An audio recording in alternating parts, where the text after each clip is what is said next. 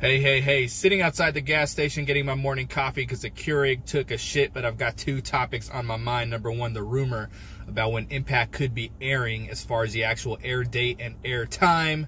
And the next match has been announced for Bound for Glory in three, two, one.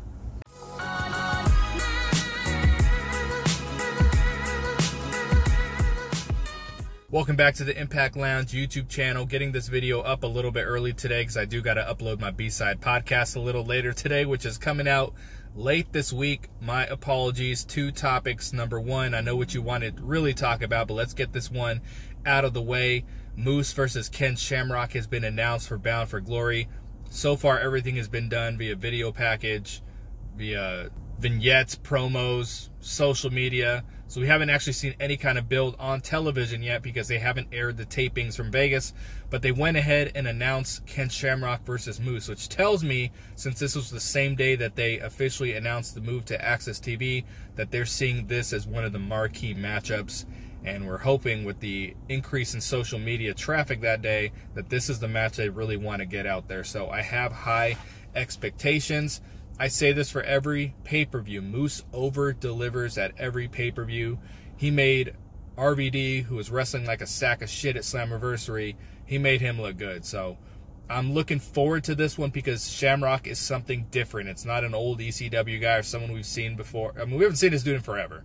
All right, first NWA champion. So I'm kind of excited. I'm, I'm very intrigued. And for everything I've heard, he still bumps like a guy in his 20s. So excited for it. Moose is going to deliver. You know this is going to happen. Bound for Glory. Second, rumor has the Impact is looking at two days during the week. Because if you notice when that press release came out, it just said it was going to happen after Bound for Glory. It did not say what day it was going to happen, what day Impact was going to air on AXS TV. So it looks like they are looking at two options. Number one, Thursday. That would be a move back to Thursday.